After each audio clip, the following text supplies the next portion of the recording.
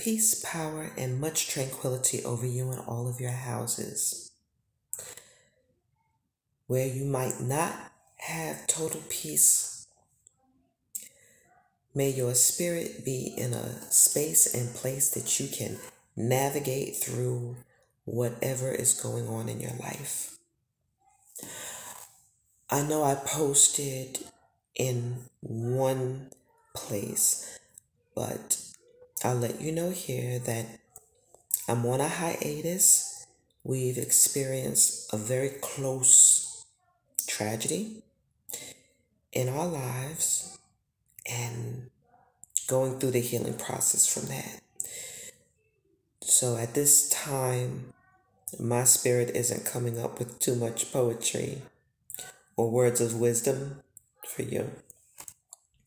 However, I did manage to write some thoughts down and I'd like to share that. I'd like to share that. Uh, my stepson, my husband's son, 21 years old, was killed. He was killed a couple of weeks ago, almost two weeks ago, and we had to go to Jacksonville to attempt to take care of things and lay him to rest and get to the bottom of the who, what, where, when, why, how of what happened.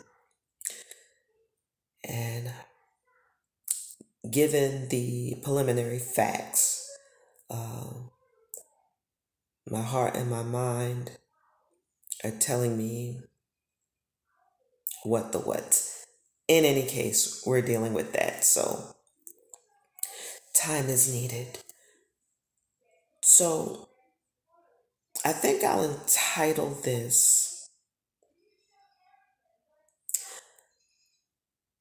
The Croc of Tears. The Croc of Tears. Oh, if I can sample your tears, what story and truths would the chemical components tell? When you find that hidden nook where you dwell in spirit with God, all else fades in the mist. No narratives with villains and spun tales, where bitter earths and sunken suns take pleasure in carnage. Pseudo whispers and a wish, a wish that the words fall on deaf ears. Does the phoenix know what life dwells in pond scum?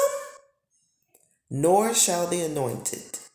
Fraction of faction stories told, narrative that suits your needs is the one that was sold.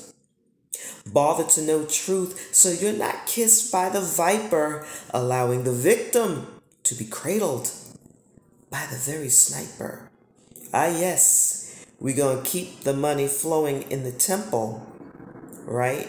Scratching my temple of time taken to cut out and erase the portion of love that created the space for yearning, seeing, desiring something better.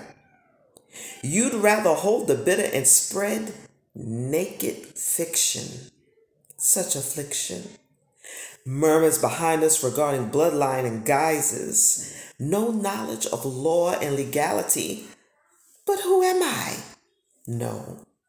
Why would I care to correct this? In times of sorrow, there will be the vultures. Deal accordingly. As always, your evolution will make you unrecognizable to most, and that is a blessing. As always, be the light to those who need to feel the warmth of your shine, and know when to be darkness to those who need to feel the cool of your shade. In all things, there is light. You be that illumination. My name is Trinia Murphy, and I am Ponder Qwan.